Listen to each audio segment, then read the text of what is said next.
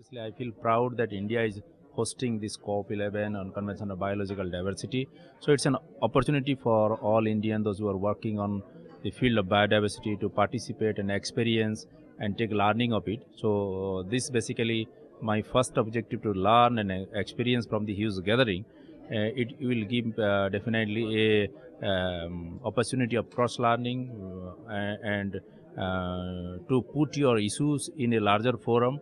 So this basically uh, my objective to participate uh, in this program. Um, Mr. Panda, we know that um, the issue of climate change uh, also has a significant impact on um, the extremes of weather conditions, um, you know, and, and, and, and the marine uh, biodiversity especially, and uh, floods, um, and, uh, you know, high tides, etc. Um, give us an idea on how um, the, the trend in the recent times um, in the area, in the, in the, in the geographical region that you work, uh, and what kind of impacts have been seen? Yeah, you see, we are working in the state of Odisha in India, and as you know, we have a diverse climatic zone, and uh, we have a long coastal belt also in the, uh, in the Bay of Bengal, and uh, which is very vulnerable due to the climate change. And uh, at present, we are experimenting some of our ideas uh, on uh, the disaster risk reduction and to on, on because of the climate change. So we are now trying to mapping the traditional knowledge, and uh, they are used to uh, reduce the vulnerability in in one way. The other way, we are also associated uh, with different indigenous community and local communities in Odisha.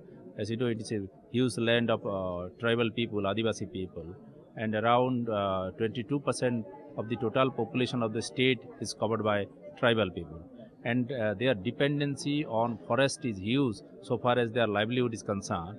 And because of this climate change, it has a great impact uh, on the forest-based uh, biodiversity and the livelihood. So we are uh, trying to build up their capacity uh, to um, this map their traditional knowledge and the mitigation and ad- adaptation mechanism what they have traditionally and also we are trying to um, uh, build their capacity on the information that is evolving on climatic, uh, climate change uh, discussion and we are disseminating those information to them and uh, also uh, picking up the issues what they are facing because of this uh, climate change uh, to different forum ma- making their voice heard in different forum Brilliant. I think that's a very critical job to do, uh, do the dissemination of information.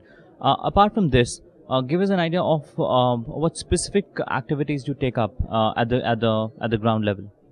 uh, we have that belief the uh, if the uh, resources will be governed by the local community then it will be um, more rich and more diverse. So what we are doing at present uh, uh, we are developing models at gram panchayat level which is the most uh, down uh, level in uh, the in the three tier panchayat system at the ground level.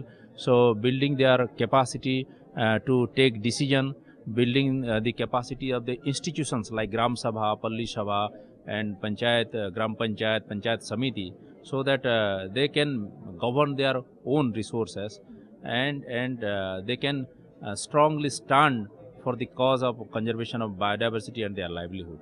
That's one aspect. The other aspects at, at the coastal line, we, we are uh, trying to make people more oriented uh, to be more adaptive uh, in the, in the case of climate change and and by that they can um, see, uh, see the livelihood threat what is emerging can be reduced All right. Um, I think that's that's that gives us an idea of uh, uh, the state of the, the state of biodiversity in in, in the coast along the coastlines of Orissa, and uh, that was in, in, insightful. And thank you for. What? One more point I would like to add here. The uh, recently enacted Forest Right Act 2006 has a l- very large scope, uh, and RCDC uh, as an organization is uh, involved in uh, better implementation of the Forest Right Act, so that the local community, the tribal people, can get uh, their rights over their community forest resources. Simultaneously, two, two more important legal aspects are there. One is the Biological Diversity Act, and the other one is uh, the Panchayat Extension to Schedule Area Act. This PESA and BDA, uh, this is uh, an FRA. These all three are uh, very important instrument for the scheduled area, and RCDC as an organi- organization is doing research, study, and advocacy on proper and effective implementation of all these three instruments.